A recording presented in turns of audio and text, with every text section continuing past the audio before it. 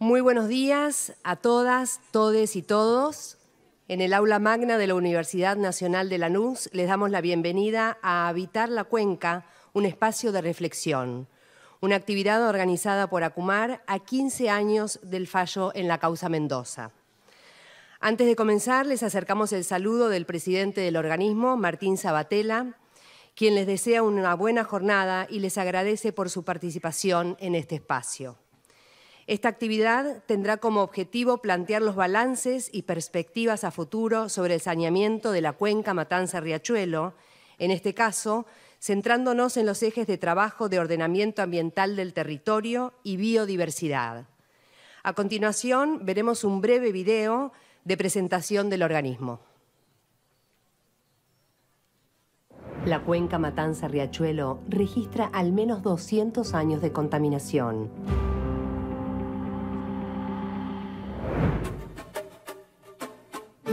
Acumar fue creado por la Ley 26.168 en el año 2006, durante la presidencia de Néstor Kirchner, en el marco de la causa Mendoza.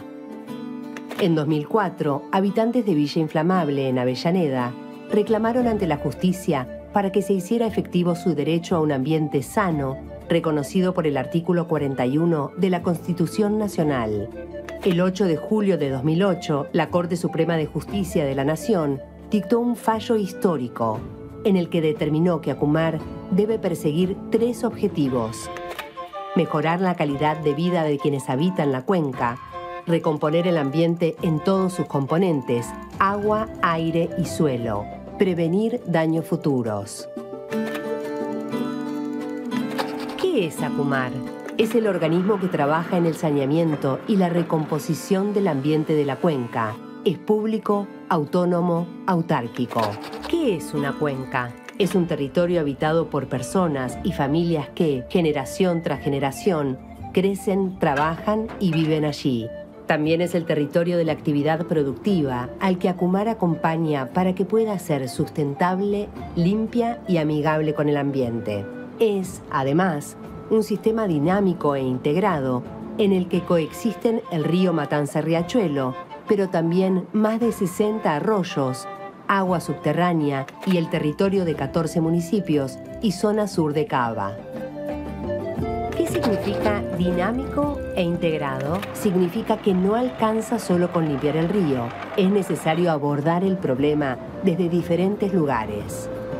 Entonces, un proceso de recomposición y reparación ambiental no solo tiene que ver con la limpieza de esas aguas, por eso, además de la limpieza del río y los arroyos, se realiza control industrial, fiscalización, monitoreos de la calidad del agua, aire y suelo, prevención y promoción de la salud ambiental, educación socioambiental, gestión integral de residuos, promoción de empleo verde, soluciones habitacionales, desarrollo de obras de agua, cloaca y pluviales, entre otras.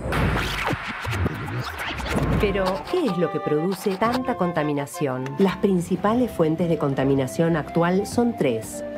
Cloacales, efluentes industriales y residuos. Es por eso que Acumar diseñó su Plan Integral de Saneamiento Ambiental, PISA. El sistema Riachuelo, el traslado del mercado de Hacienda de Liniers a Cañuelas y el Parque Industrial Curtidor en Lanús serán tres hitos en la recomposición ambiental y están cada vez más cerca. El objetivo es que toda la gente que habita la cuenca pueda vivir mejor. Prevenir, recomponer y mejorar es la tarea. La cuenca nos une.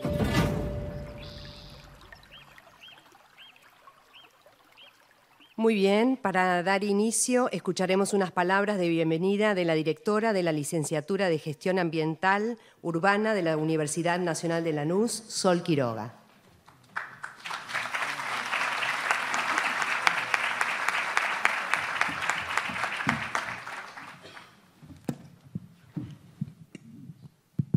Hola, ¿qué tal? Buenos días a todos, a todas.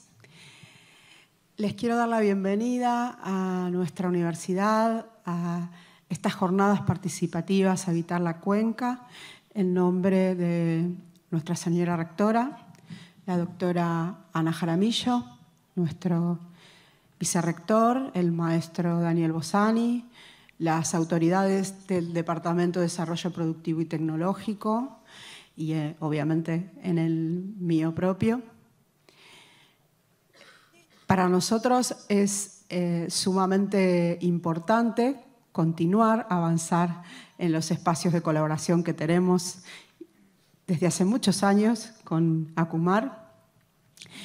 Y particularmente eh, en esta universidad hay muchos, veo muchas caras conocidas eh, en este auditorio en este momento, que seguramente me escucharon decir esto que voy a decir ahora varias veces, pero no por eso me parece menos importante repetirlo.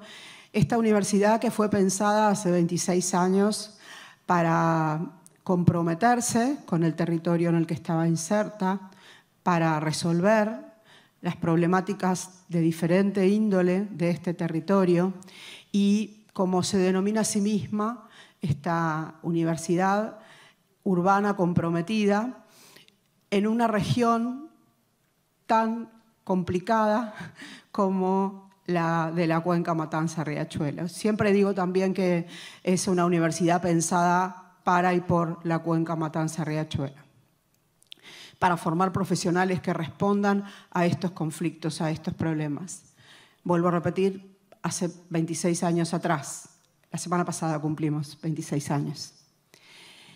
Por otro lado, lo que me toca conducir a mí dentro de la institución y en este marco de este proyecto institucional tan amplio, que es el campo urbano ambiental, que está formado por una carrera de grado, la licenciatura en gestión ambiental urbana, por una carrera de posgrado, por dos laboratorios, por un centro de estudios eh, eh, e investigaciones. Bueno, nosotros estamos bajo este marco con la responsabilidad de pensar soluciones o de contribuir con soluciones a las problemáticas urbanoambientales de esta región y particularmente eh, intentamos a partir de estas soluciones contribuir en la mejora de la calidad de vida de los ciudadanos y las ciudadanas. En este espacio veo algunas caras conocidas de graduados y graduadas nuestros de esta casa de estudios que están en la actualidad, y estudiantes también, que están en la actualidad cumpliendo funciones de gestión ambiental en distintos organismos del Estado local, en Acumar. Y la verdad que eso nos llena de orgullo porque eso quiere decir que la función que nos planteamos hace 26 años se está cumpliendo de alguna manera, ¿no? de una manera importante. Hoy particularmente acompañamos, eh, como siempre, como decía recién, esta actividad que nos propone Acumar, de pensar la cuenca a 15 años del fallo Mendoza. Pensar la cuenca es pensarnos, para quienes estamos en la Universidad Nacional de Lanús, pensarnos como formadores y formadoras de profesionales, pensarnos como ciudadanos y ciudadanas de la cuenca y también pensarnos como gestores de este territorio, ¿no? en un tema tan importante como el que vamos a abordar hoy, que es el del ordenamiento ambiental del territorio. Y pensarnos de manera individual, pero fundamentalmente pensarnos de manera colectiva, ¿no? Una cuenca que está, eh, digamos, que tiene un manejo insustentable eh, ambientalmente hablando de más de 200 años y que en los últimos años, eh, las últimas décadas, a su suelo, su territorio ha sido ocupado eh, con, actividades que no han contribuido a la, mejora de la calidad ambiental de los ciudadanos y ciudadanas. Por eso es tan importante pensar estos 15 años, pensar el fallo Mendoza, pensar el punto de inflexión que implicó la aparición de Acumar y las políticas que Acumar ha empezado a llevar adelante, que tienen que ver con eh, la recomposición del estado del río, con la recomposición de la biodiversidad y en lo que a nosotros o a mí puntualmente desde mi, desde mi formación me, importa, eh, eh, desde el punto de vista conceptual o teórico, eh, trabajar para que las condiciones de habitabilidad, sobre todo de las comunidades que están más vulneradas, se hayan mejorado. Quedan muchas cosas por hacer seguramente, pero vuelvo a repetir, estos 15 años implicaron, a mi criterio, un punto de inflexión importante en esto que es eh, nuestro territorio.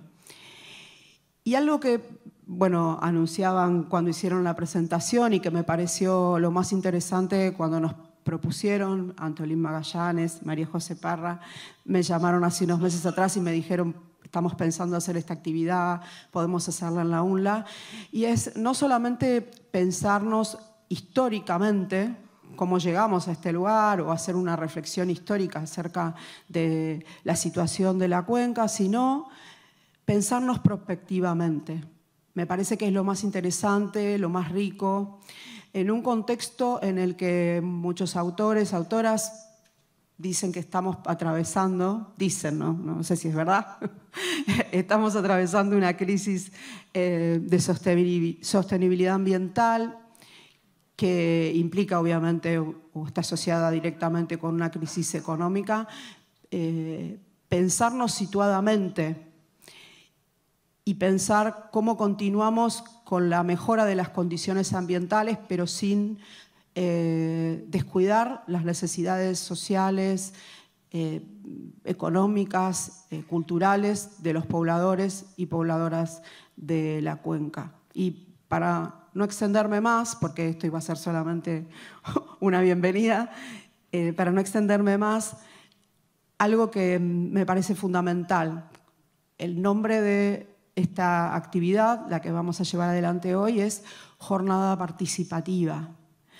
Lo que voy a decir es una obviedad, seguramente, pero no podemos abordar ninguno de estos problemas de los que estamos hablando sin la participación de los ciudadanos y las ciudadanas. Y lo que vamos a hacer hoy es, y lo que está totalmente en, en línea con lo que nuestro proyecto institucional de la Universidad de Lanús indica como una de nuestras responsabilidades es propiciar el diálogo de saberes, es escuchar todas las voces, permitir que todos quienes estamos aquí, colegas de otras universidades, eh, gestores, eh, responsables de distintos ámbitos de gobierno, instituciones de la comunidad, docentes, estudiantes, podamos eh, pensarnos, como dije, pensarnos pensar nuestra identidad como cuenca y pensar qué queremos de esta cuenca a futuro. Agradezco la oportunidad, es para nosotros un placer ser la sede de esta actividad y, mm, bueno, y espero ansiosa las conclusiones a las que lleguemos al final de la jornada. Gracias a Antolín, gracias María José, gracias a todo el equipo de Acumar, bueno, y al equipo de la Universidad Nacional de Lanús que están trabajando para que esto sea posible. Muy bien. Muchas gracias.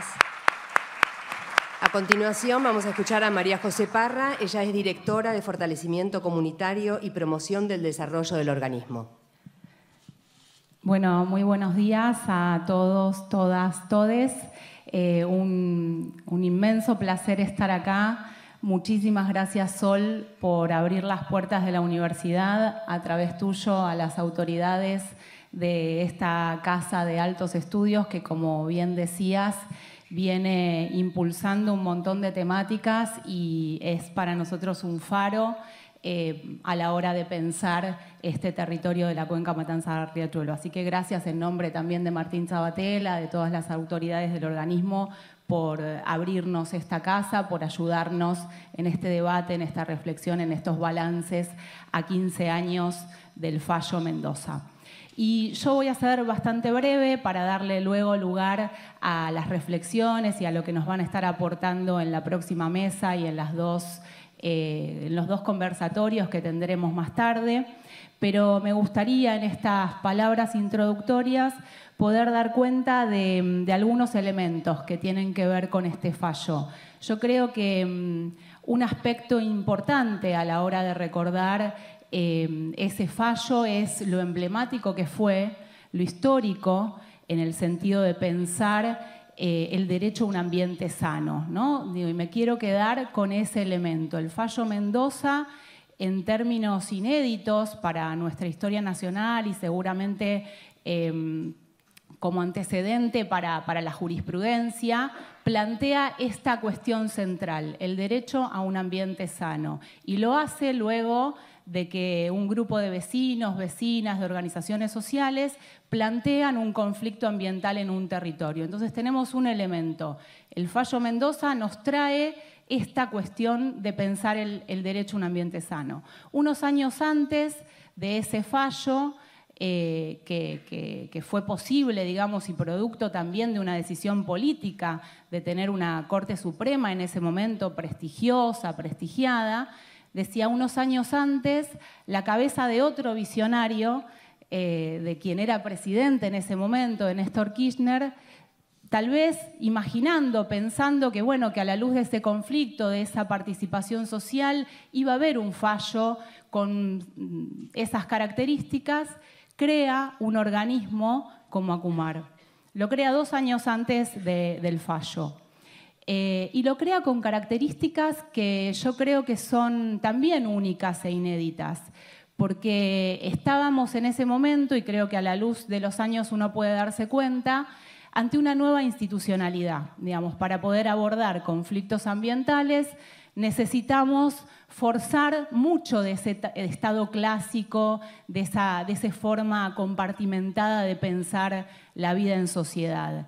Eh, y entonces crea una institucionalidad con esas características que veíamos antes en el video, interjurisdiccional, interministerial, interinstitucional, que pone en diálogo un montón de partes para pensar un todo. Entonces, me quiero quedar con ese otro elemento que tiene que ver con la integralidad, ¿no? O sea, con esta idea de eh, pensar las problemáticas de manera integral. Y de esa manera también, entonces, se da lugar al PISA, al Plan Integral de Saneamiento Ambiental, que es en definitiva el que manda el fallo a este organismo. Y entonces ese fallo, justamente por esa cabeza, por esa visión, no cae en saco roto, cae en un organismo con las características que contaba recién para poder diseñar ese PISA. Ese PISA que a la luz de 15 años creo que eh, nos tenemos que preguntar. El otro día en, un conversatorio similar a este decíamos, bueno, ¿qué viene después del PISA? Me parece que esa es la pregunta que debe guiarnos y me parece que tenemos algunos elementos en esos orígenes, en ese mito fundacional, si se quiere, que tiene que ver con el derecho al ambiente sano, con la integralidad y con la práctica de la articulación que habilita un organismo como Acumar para pensar lo que viene. Creo que estos tres elementos que están en ese origen son a su vez los que nos permiten empezar a diseñar lo que venga para adelante. Insisto, derecho al ambiente sano, integralidad de las políticas públicas para pensar en acciones transformadoras desde el Estado y la articulación, ese rol de la articulación de actores. Y hay un elemento no menor que si se quiere cose todo esto, que lo decía Sol hace un ratito, que es la participación social. Estamos en un, digamos, en, un ámbito, Acumar es un ámbito relacional, como decía, que surge producto de esa demanda social. Entonces, ahí tenemos ese eje transversal que tiene que ver con el compromiso comunitario eh, para, las prácticas transformadoras. Así que, por mi parte, agradecerle también la presencia a todos y a todas y les eh, auguro una muy buena jornada para hoy. Muchas gracias.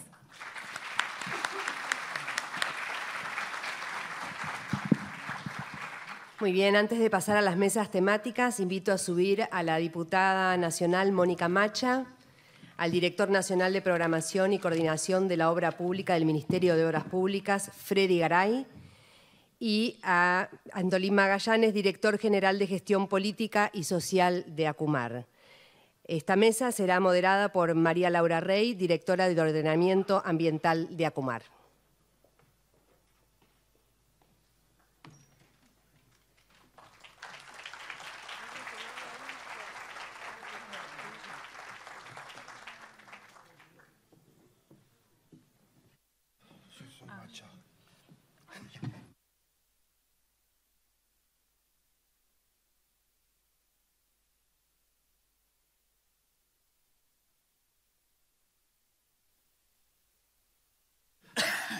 Buenos días, buenos días a todos y a todas. Este, les agradezco la presencia este, en esta casa de estudios eh, para poder eh, formar parte de este espacio de reflexión que se ha ideado desde Acumar sobre el destino de la cuenca Matanza-Riachuelo. Este, desde la Dirección de Ordenamiento Territorial, eh, que está a mi cargo, tenemos como tarea principal o tarea diaria la ejecución de mandas, de tres mandas importantes de la causa. Una este, es la, liberación del camino de Silga y la relocalización de sus familias en nuevas viviendas. Eh, tenemos la, llevamos adelante también la manda correspondiente a las áreas protegidas judicializadas. Pero en este momento y en este espacio de reflexión, como bien dijeron mis compañeras anteriormente, como lo dijo Sol, como lo dijo Majo, este, este es un espacio de, reflexión para poder ver la cuenca a futuro. Esto y, esto tiene que surgir desde la participación comunitaria. Por eso hoy están invitados vecinos y vecinas de la cuenca, están invitados las universidades y están invitados las organizaciones sociales. Este, voy a pasar a presentar a nuestra primera oradora, a Mónica Macha, eh, diputada nacional por Nuevo Encuentro, psicóloga y responsable de proyectos, eh, en muchos proyectos, entre los que vamos a destacar el, trabajo sobre la violencia eh, informática, el trabajo de la casa de partos y este, el, trabajo sobre la no prescripción, proscripción de de los, los crímenes o los de los delitos de abusos de menores. Muchas gracias, María Laura. Bueno, buenos días a todos, a todas, a todes. Decirles que para mí es un honor eh, estar acá en esta, en esta jornada participativa con, con esta mesa, con los compañeros y compañeras que, estamos eh, en, esta, en esta propuesta y en esta posibilidad de poder transmitir algunas experiencias y también pensar qué para adelante, ¿no? Un poco qué es lo que también se decía en la mesa de apertura, cuáles son los nuevos desafíos. Em, bueno, eh, el hecho de compartir acá también, quiero decirlo, el panel con Freddy Garay para mí es un honor, porque Freddy es un compañero de una experiencia enorme en todo el tema de producción social del hábitat y que, em, no sé si se acordará, pero yo sí me acuerdo muy bien, que cuando él estaba en, la dirección del Instituto Provincial de la Vivienda, allá por los años 2004, 2005, nosotros, nosotras, nosotros estábamos llevando adelante una, un, proceso, un proyecto, un proceso que fue fundante para nuestro modo de gestionar y de pensar el hábitat, que fue la, urbanización del barrio Carlos Gardel. Eh, y ahí la verdad es que la articulación que pudimos hacer en términos de provincia y municipio fue sumamente importante para pensar la gestión también, para poder recuperar este concepto que decía María José Majo, iba a decir Majo, Majo, Majo eh, sobre la integralidad, la participación, digo, bueno, fueron realmente mm, elementos que estuvieron presentes ahí y que en esa instancia de llevar y de cuidar ese proceso, ¿no? del gobierno de ese proceso, el trabajo que pudimos establecer con Freddy, con el equipo de Freddy, eh, fue de, una, de un coraje, de una innovación también en términos de... De hecho, digo algo por, por traer un tema súper puntual, pero eh, me acuerdo con las abogadas del, del, instituto plantearnos, porque nos lo planteaban las mujeres del barrio que sufrían violencia por motivos de género, que en esta nueva instancia donde se iba a regularizar y se iba a urbanizar el barrio y también la, regulación, la, regularidad en función de, bueno, de la propiedad de esas viviendas, em, que quedara en manos de ellas y no de los compañeros que muchas veces terminaban yéndose. Y entonces, eh, digo, una cuestión que es muy chiquita, pero poder trabajar en que la cabeza o digamos el nombre de esas viviendas estuviera a cargo de esas mujeres y eso también tiene que ver con cómo pensamos la aplicación de la perspectiva de género popular en, por ejemplo, por traer una, una, una muestra bien chiquita de lo que significa esa articulación, esa integralidad, la participación, la escucha para las personas que están llevando adelante ese proceso, que lo están viviendo y que siempre cuando hablamos del hábitat son procesos em, también integrales para quienes los están atravesando, ¿no? porque no es solamente me mudo de casa, es, un montón de cosas ahí que se ponen en juego eh, y que entonces también nos lleva a nosotros como, desde la posibilidad de gestionar, o en mi caso en este momento coyuntural, de estar a cargo de, de poder construir normativa para nuestro país, bueno, pensar en esos posibles procesos y qué modificaciones y qué desafíos tienen. Entonces, una de las cuestiones que para mí son centrales y como propuesta y como desafío, pensando también en la articulación con Acumar, tiene que ver con el proyecto que estamos trabajando con el movimiento de ocupantes e inquilinos, que es el, es el proyecto de producción social y autogestionaria del hábitat popular. Em, un proyecto que ya viene varias veces presentado, que los compañeros y compañeras del MOI lo han... Este, es la tercera vez que se presenta en realidad, o sea, son seis años de intento de trabajo legislativo, que es bien complejo. Es bien complejo porque es un proyecto que plantea em, poder llevar adelante la construcción de viviendas, primero partiendo del concepto de hábitat, no, no solamente de viviendas. Entonces el hábitat como, como lo que es, como ese, ese, derecho de, acceso a la ciudad.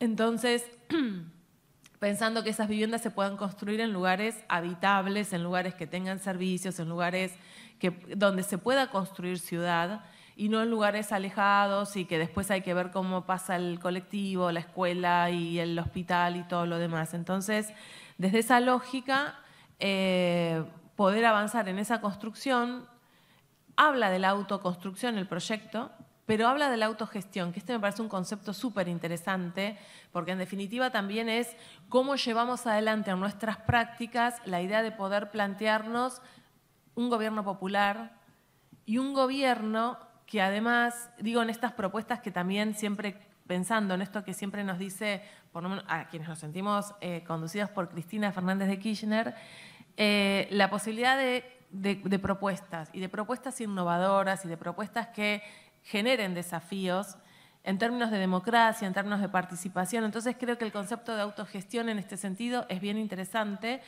porque, porque bueno, porque es esto, es como desde los gobiernos, gobierno nacional, gobierno provincial y también gobiernos municipales, se puede construir y se puede generar una instancia con cooperativas, con asociaciones, con distintas instancias que y vuelvo a la idea de la integralidad, va a requerir como de, muchas acciones en simultáneo, no es una sola cosa, es, bueno, constituir la cooperativa, a veces esas cooperativas ya están construidas, a veces hay que construirlas. Y el MOI me parece que tiene, parezco, parezco acá la, difusora del MOI, ¿no? haciendo la, difusión del MOI, pero me parece que tienen un trabajo bien interesante. Em, hay una instancia de construcción de esas cooperativas, hay un tiempo de construcción, no es armo la cooperativa y ya está, porque esa cooperativa que implica construcción de lazo social, construcción de responsabilidades, construcción también de una mirada donde las propias personas tienen que, de algún modo, eh, asumir eh, ese proceso, que es un proceso con tensiones, con conflictos, que es un proceso largo. Entonces, no, no es que llego a esta cooperativa y ya estoy acá, sino que hay todo un trabajo previo en la conformación de esa cooperativa que en un tiempo Es más, ellos hablaban de nueve meses de construcción de la cooperativa para que después pueda ser una cooperativa que pueda llevar adelante un proceso de autogestión en la construcción de, de viviendas y del hábitat, mejor dicho. Entonces, ahí hay una idea también de pensar un gobierno de participación Implica distribución de poder, además de distribución de recursos, porque este proyecto crea un fondo para que ese, este proceso tenga eh, el recurso necesario, el, presupuesto necesario para llevar adelante esa política. Em, plantea la creación de una escuela de experiencias, porque no sé si a ustedes les habrá pasado, pero a mí, a mí sí que cuando comencé a gestionar, que eso fue allá por el año 99, con nula experiencia y empecé. Y, de hecho, esta casa de estudios para mí fue muy importante porque en ese momento empecé a, cursar una maestría en gestión, salud y epidemiología, acá, nomás. O sea, en ese momento la sede era en Valentina Alcina. Eh, no estaba todavía este edificio hace muchos años, en el año 2000. Y, mm, y entonces la posibilidad está de, poder pensar cómo, cómo, construir desde lo conceptual, pero también algo que implica la gestión, que es atravesarla, ¿no? que es, bueno, llevar adelante esa instancia. Em, y entonces, digo, en este sentido, poder pensarnos, o sea, digo, hay, hay, se me había ido la idea, pero ya la recuperé por suerte. Hay, hay, algo, hay algo de los procesos de gestión que cuando los atravesamos, cuando estamos en la función de gestionar, creemos que nos está pasando solo a nosotros. Nos puede pasar un montón de aspectos de la vida, ¿no? No, no, la, política es fragmentada, no hay participación, eh, cómo se ejerce el poder, bueno, un montón de instancias que pareciera como que nos está, nos está sucediendo al momento en que estamos gobernando, que estamos llevando adelante la función de gobierno, pero que en verdad hay muchas experiencias que se pueden poner en común y que esa experiencia también al ponerla en común hace que no todos pasemos exactamente por los mismos lugares. Digo, que haya aprendizaje, que haya aprendizaje de los procesos que ya se fueron transitando. Entonces, parte de lo que plantea este proyecto es la creación de una escuela con experiencias de autogestión. Em, y hay algo que significa, por supuesto, ese trabajo que hay que hacer con los gobernantes y las gobernantas en esto de decir, bueno, hay, hay una necesidad de ceder ese poder que circula en determinados lugares para los procesos de autogestión. Eh, y es un desafío súper importante y necesario, creo yo. Y entonces, digo, ese es un poco el proyecto en, el que estamos, en que estamos transitando y que estamos intentando que se pueda tratar en, el Congreso Nacional. Decirles que hace poquito estuvimos en Tucumán, estuvimos en una reunión con el equipo, con la dirección este, provincial de, la vivienda allá en la provincia y con, la posibilidad de empezar una experiencia en Tucumán. Así que digo, esto como una cuestión que escucharon el proyecto, eh, compañeros y compañeras que vienen con mucha experiencia en esto y poder avanzar. Y también todo esto que yo les estoy contando y que hoy está en la letra de un proyecto, en verdad tiene una base fundamental que son experiencias reales.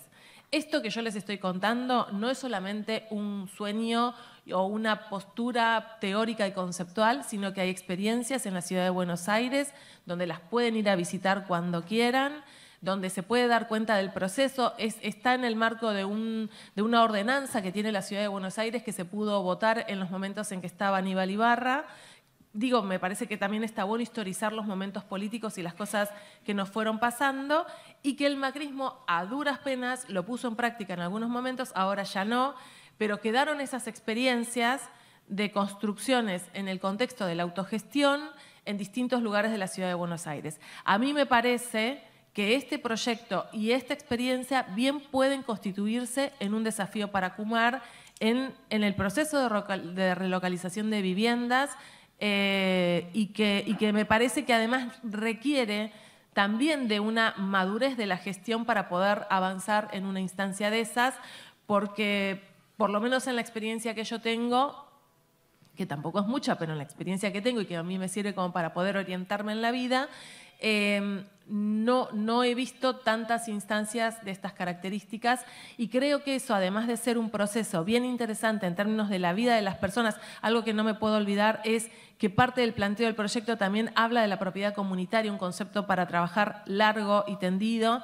pero bien interesante introducirlo como esta oposición a la idea del mercado, de los negocios inmobiliarios, de pensar la vivienda como un derecho, como la necesidad de acceder a ese derecho y de poder también pensar o intentar transicionar de una cabeza capitalista hacia una cabeza que pueda pensar más en términos de comunidad, enorme desafío que por supuesto Acumar puede también asumir y todos y todas nosotras. Así que bueno, decirles esto, para mí es un, hermoso desafío poder pensarlo y articularlo eh, y además porque necesitamos pensarnos como proyecto político y popular en continuidad, en propuestas que nos permitan relanzar deseos, enamoramientos, cuidado de lo construido y, relanzar gobiernos. Eh, nada más. Gracias.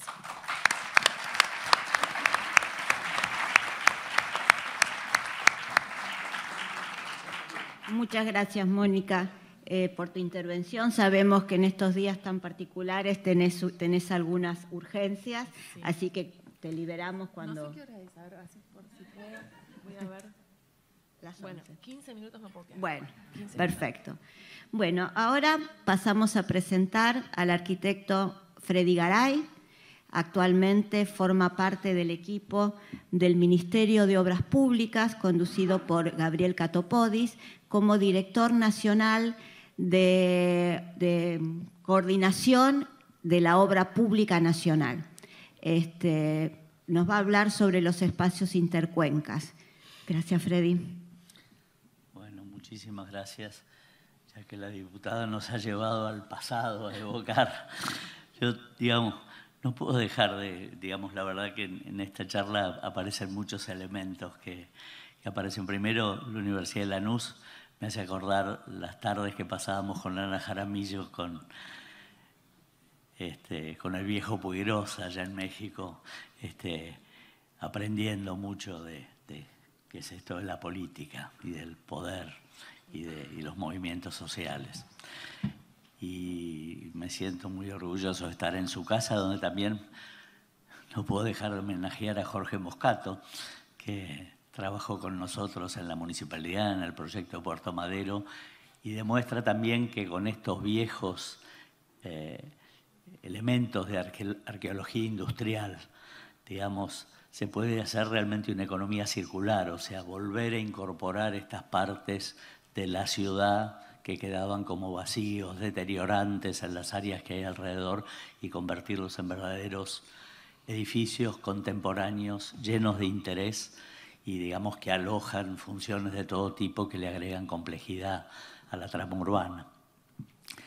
La tercera cosa, lo de Morón me hace acordar a la experiencia esa con Martín, ¿no? que discutíamos con los vecinos cómo iban a poner los muebles en la casa y a, cambiar las dimensiones de los locales para que los muebles entren, porque el pueblo tiene muebles viejos, no tiene este, los muebles de fórmica recién comprados en Ikea, ¿no? Y, este, y es una discusión importante esa, digamos, de qué manera va a evolucionar una casa en un terreno.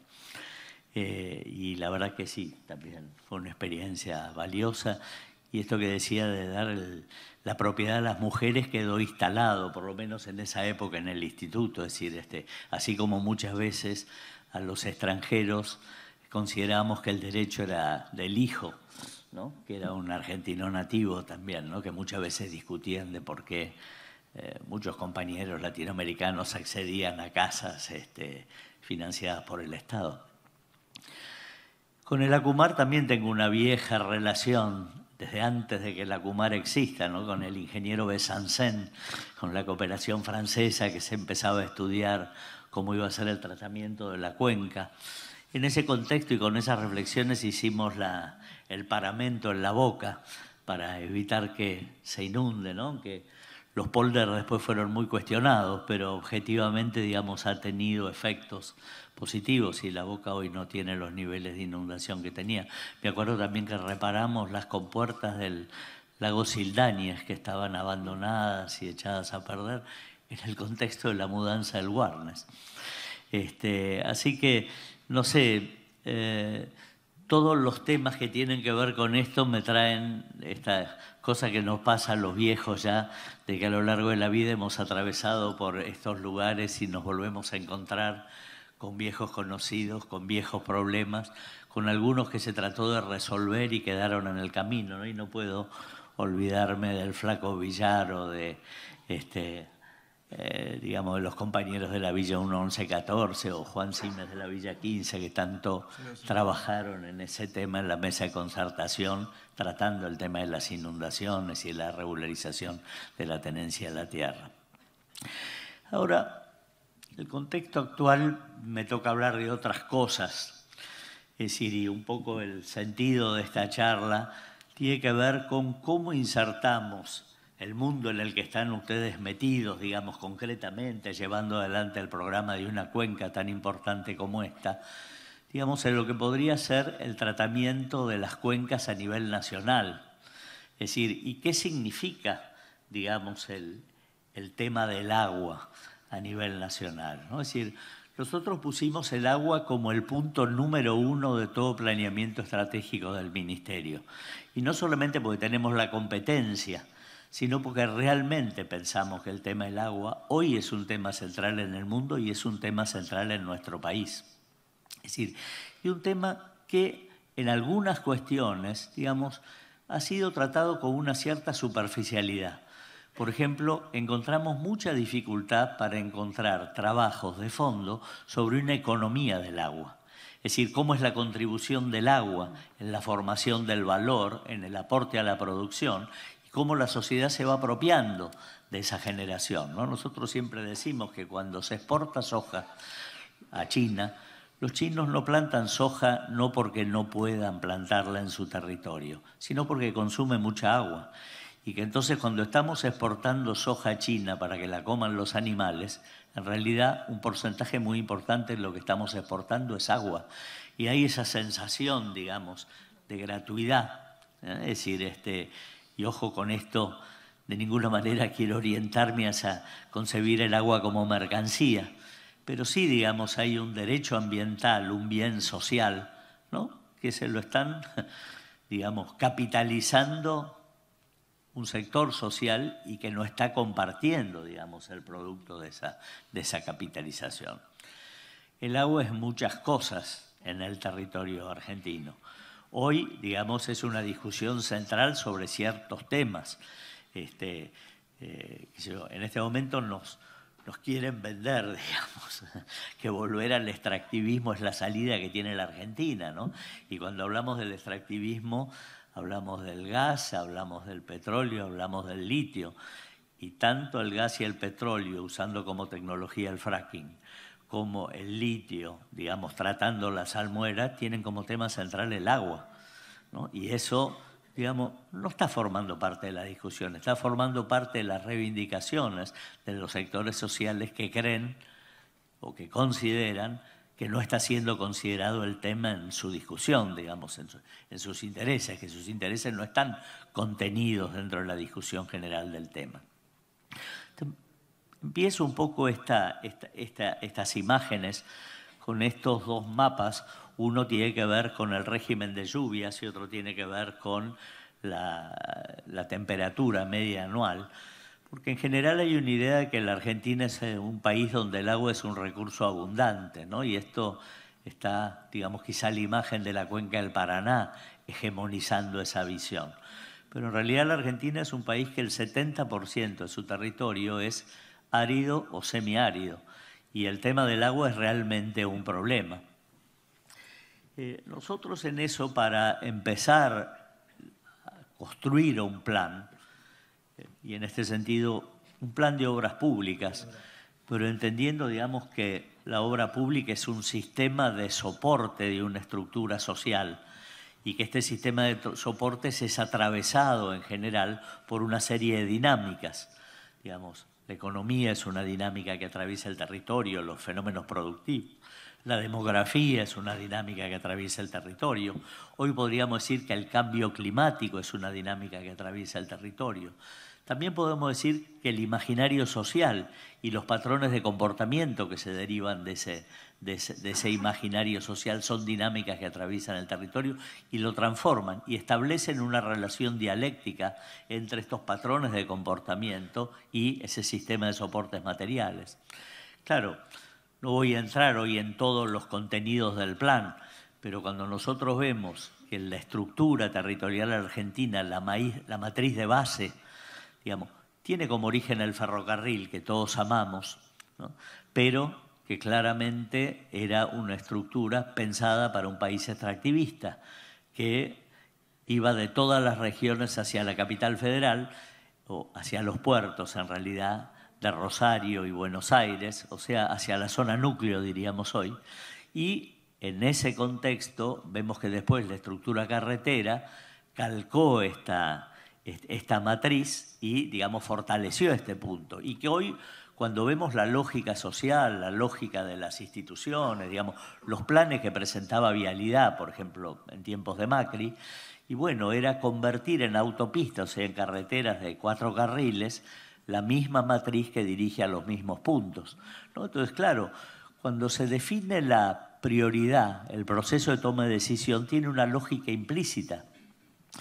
Y si esa lógica implícita es la lógica del mercado, es decir, es seguir la demanda, objetivamente lo que estamos permitiendo es que el mercado sea el que formatea el territorio.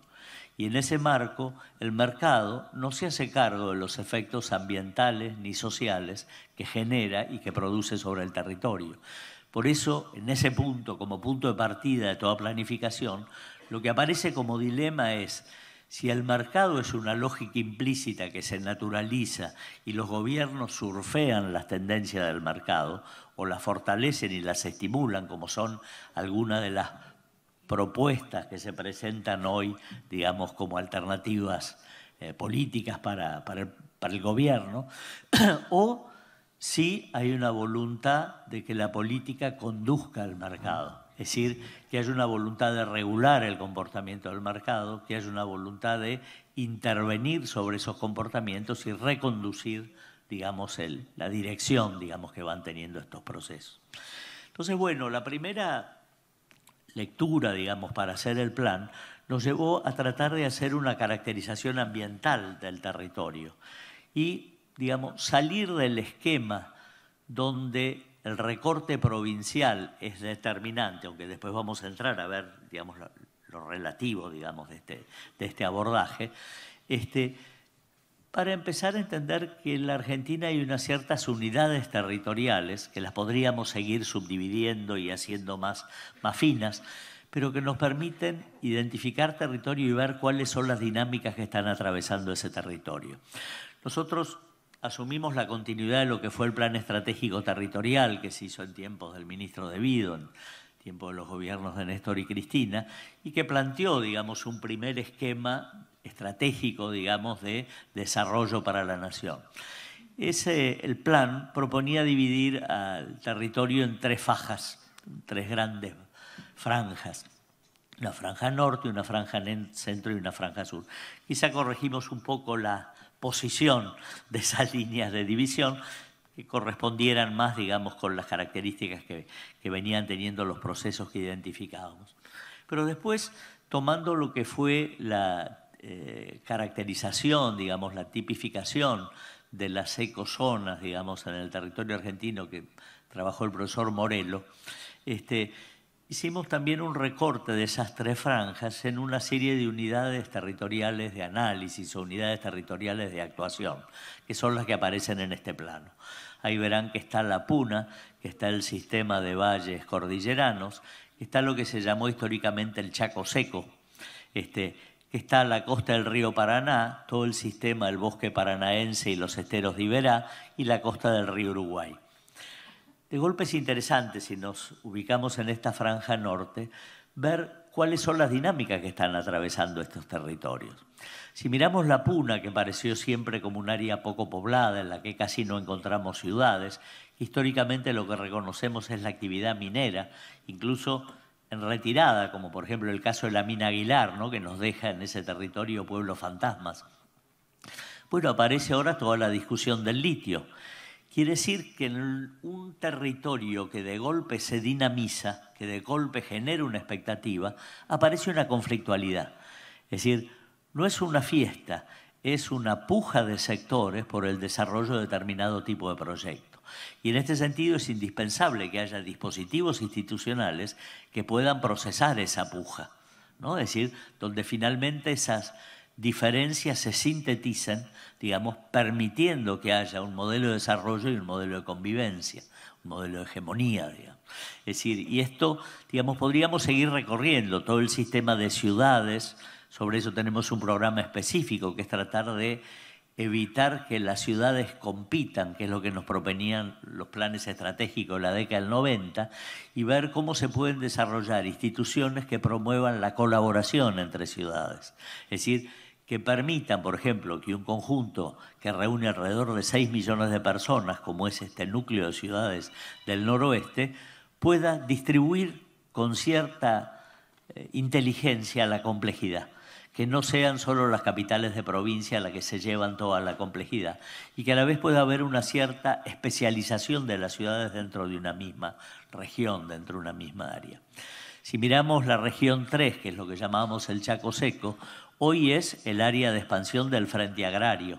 Y ahí vemos que hay cambios en la producción, cambios en la tecnología de la producción, cambios en la estructura de la propiedad de la tierra, desplazamientos de poblaciones debidos a esta reestructuración de la propiedad y, digamos, toda esta discusión entre un determinado paradigma del progreso vinculado a la agricultura y en estos casos sobre todo a la ganadería, los nuevos propietarios de la tierra, que en general tienden latifundio, y, digamos, la definición de las políticas públicas regionales, que en general en las provincias asumen con entusiasmo, digamos, esta ampliación del frente. ¿No? Es decir, bueno, eh, vemos toda la costa del río Paraná, digamos, que también tiene un sistema de ciudades sumamente activo, y acá nos encontramos con una paradoja cuando miramos Resistencia a Corrientes y esta conurbación, o Posadas Encarnación, o Puerto Iguazú, Foz de Iguazú, Ciudad del Este, o Clorinda, Puerto Falcón y Asunción, bueno, encontramos como una, un circuito, una circunferencia que reúne todo este sistema de ciudades con alrededor de 5 millones de personas, digamos, circulando alrededor de esto. Quiere decir que cuando miramos estos territorios encontramos varias cosas. Encontramos conflictos emergentes que tienen que ver en general con cambios de la producción, pero también encontramos oportunidades para reequilibrar la perspectiva de un país, digamos, que tiene una ciudad de 15 millones de habitantes y parecería que de ahí para abajo hay saltos enormes a otro sistema de ciudades que tienen un millón y medio de habitantes y después toda esta noción de la jerarquía de ciudades que se pensaban solas compitiendo entre sí. Este, cuando miramos la segunda franja, bueno, claramente encontramos todo el sistema de la zona núcleo, ¿no? Y en eso nos es importante separar lo que sucede alrededor del corredor de la Ruta 9, o sea, las tres grandes áreas metropolitanas que concentran porcentaje muy importante del país, de esa trama de ciudades de mediana envergadura que justamente tiene la particularidad de ser bastante equitativa. Mientras una tiene tribunales, la otra tiene hospital, la otra tiene la cárcel, la otra tiene... No es decir, que arman como una malla, digamos, bastante característica de la zona núcleo y que evidentemente hoy se presenta como una zona muy rica y que efectivamente hegemoniza la economía del país, es decir, le, hegemoniza económica y políticamente, digamos. Es decir, este, la gran disputa entre los movimientos populares es cómo equiparar, digamos, el peso que adquiere, digamos, este, el, mercado exportador, digamos, este, en la conformación de la balanza comercial argentina. Y la puja por las retenciones o la puja por la redistribución del producto de esa renta. La zona 7, que es la zona de los oasis de riego, donde el tema del agua está muy legislado, digamos, pero a la vez es donde aparecen las grandes pujas, ¿no? Sí, porque están los glaciares donde nacen los ríos y después el aprovechamiento de esos ríos para obras de riego, para obras hidroeléctricas y el problema de los que quedan aguas abajo. Es decir, en este punto, por ejemplo, el conflicto entre Mendoza y La Pampa ¿no? aparece, digamos, como un hecho paradigmático ¿no? de esta discusión de cómo es el manejo de una cuenca, cómo la mayoría de los temas terminan en la Suprema Corte de Justicia y la Suprema Corte de Justicia casi siempre devuelve el mismo fallo. No le pidan a la justicia que resuelva temas que tiene que resolver la política.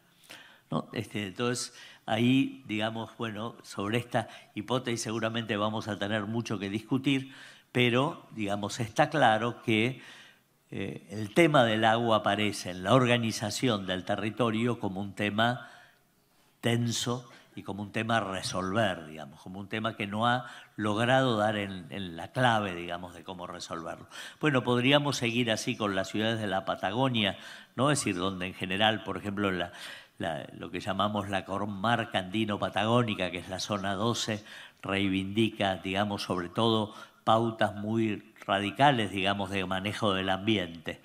Y, digamos, son zonas que en general donde se desarrolla la actividad turística, la actividad, eh, digamos, este, de segunda residencia, pero también la actividad de investigación, de investigación científica y tecnológica, ¿no? incluso niveles complejos de la cultura, como los que expresa la Fundación Bariloche, ¿no? con lo cual identificamos en ciertas conformaciones territoriales, ambientales, una cierta fusión entre desarrollo tecnológico de altísimo nivel con preservación de pautas y consignas sociales de preservación de pautas ambientales. De... Esto nos lleva, digamos, a una discusión, ¿no? porque cuando analizamos las distintas zonas, vemos que los paradigmas que defienden las distintas sociedades muchas veces son distintos o predominan algunos sobre otros, ¿no? y a lo mejor se podría pensar en una territorialidad donde distintos paradigmas convivan sobre distintos territorios.